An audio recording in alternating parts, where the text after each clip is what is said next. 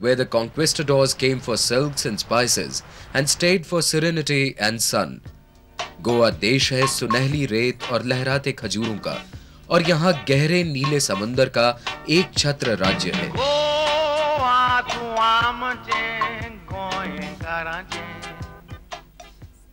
पश्चिमी घाटों और अरब सागर के बीच कोंकण के सुनहरे समुद्री तट पर बसा हुआ गोवा बहुतों के लिए सचमुच स्वर्ग समान है। Goa's 100 kilometer long coastline is studded with some of the world's most beautiful beaches. The golden sands and the serene, secluded grounds are ideal for holiday seekers and sun worshippers.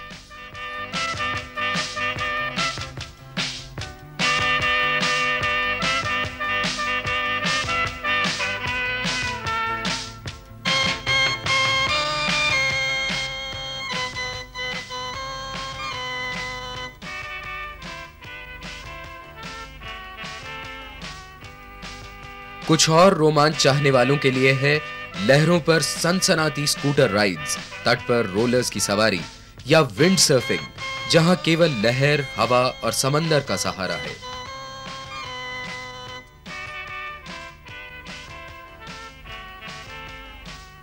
वापस किनारे पर घंटों नज़ारा कर सकते हैं मछुआरों का।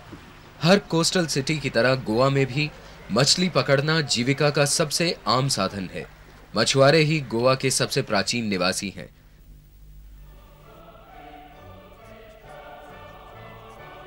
पुर्तगाली संस्कृति झांकती है यहाँ के चर्चों और ऐतिहासिक इमारतों में।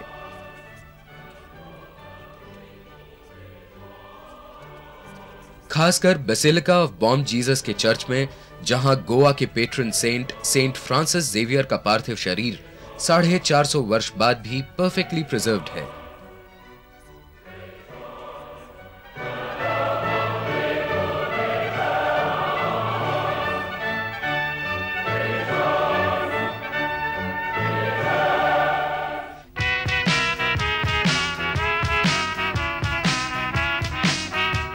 लेकिन गोवा की आत्मा बसती है उत्सव, त्योहार और कार्निवल में।